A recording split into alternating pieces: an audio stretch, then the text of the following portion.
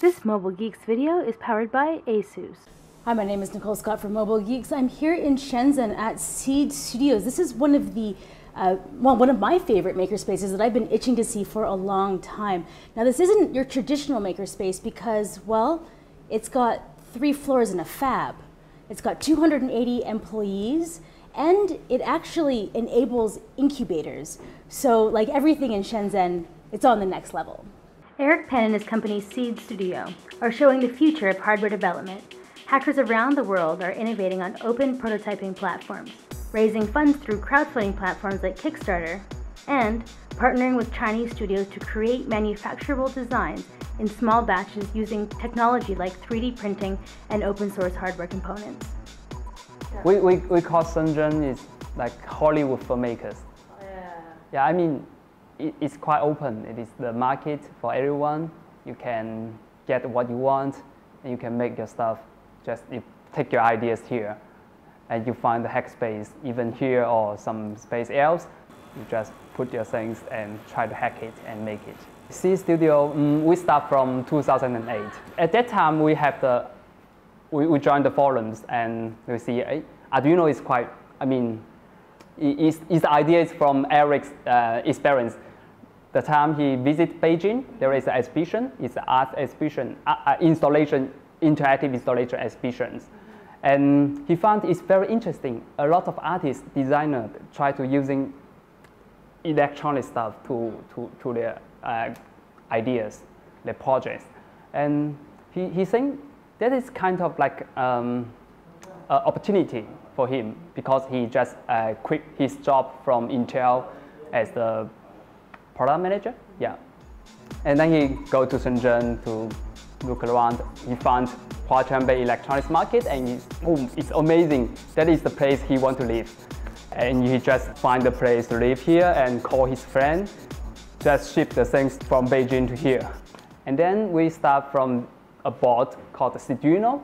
That is a different things um, between a little bit uh, like upgrade version. We, we collect some ideas from the community uh, in the Arduino community and the other forums. And we think what kind of thing you want plus Arduino. And some, we, we, we collect a lot of ideas and then we develop our board with different, a little bit different functionality and on the, on the board, like we add some button, we change some voltage to output something. And that is our first product. At, at that time, we developed a lot of things relate to Arduino boards. Like we have a lot of different shields, like which is very different functionality for, for, for Arduino. And we also have a Grove system, which just plug and play very easily for artists or designer to use it. We call ourselves like maker for makers. Yeah. We try to be a makers. Like me, I'm uh, an artist, uh, inter interactive installation artist, yeah. which I have three years in Hong Kong. Um, I make a lot of interactive installations. And then I'm quite curious how this module be made. Yeah. So I joined Seeed Studio and, and yeah, actually I, I was a maker. And now I, I really know what the makers want. We join some fairs like exhibitions. We go to San Francisco for the first Make Fair we have and it's a Make Fair Berry. We just very excited. At that time we see a lot of makers making their things. We have some connection, we, we share our ideas and we share the Shenzhen's what the center of the manufacturing in China. And then we find some requires from the community. They want to make some products for, for I mean, to manufacturing in Shenzhen. So at that time, we developed a service for the makers. What makes this hackerspace a little more different in my mind than other hackerspaces that I've come across is that it fills the gap for indie hardware makers through their community, open hardware component library, and small batch production capabilities. We have uh, our own small production line, which we call Agile Manufacturing Center. Like 100 square meter place, we have a product line, which help manufacturing like 100 pieces. And more than that, we can connection with the outsourced factory. Yes. So we focus on like from one to 10,000 if more than like more than 10,000, we switch to the other big factory like Foxconn. Big factory, they don't care about the small batches. No, no they no, they just okay. How much? How, how many? How many you want to make? And maybe 100 or maybe 1,000. For the maker, it's, it's a lot of the big. I mean, it's, it's a lot. But for the battery, no, it's kind of piece of cake.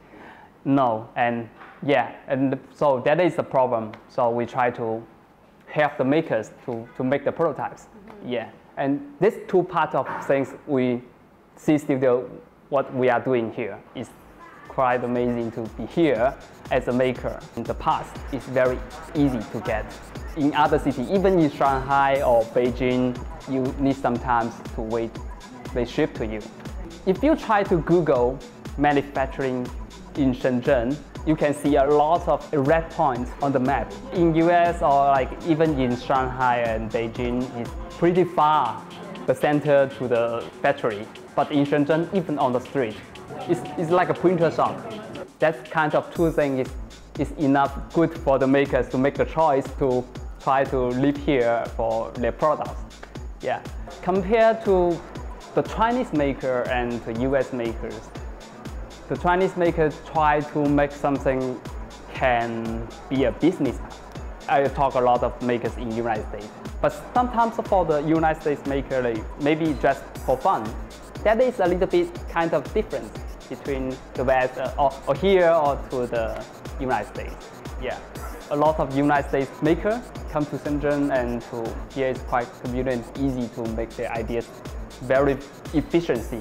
I think the, the makers in Shenzhen, probably in China overall, is that they probably uh, you know more concerned about you know what their business model is going to be like. It's more than just about making something cool, but also um, how how are they going to you know grow as a as a team, and also how you know, or even the more a more basic question, how are they going to pay for the bills so that the project become viable. So I think that's a really big distinction between two uh, two groups of makers. There is a lot of place talking about the maker movement, but it's really hard to find a good community for the makers to sell their stuff. Like we have the Maker Faire Shenzhen, which is the seventh featured Maker Faire in the world. I mean, in China they have something else, but here it's like a station for connecting the West and the East. We invite a lot of makers all over the world. They will come here to sell their stuff and they give them some talk, sharing their ideas, and even sharing some experience. So I think kind of activities is very good for the community and it's very good for the maker to communicate, sharing the idea or getting some comments for their stuff. These three forms, I think there will be the, the top I want to share, but Shenzhen is quite a place for the makers to, to make the choice live.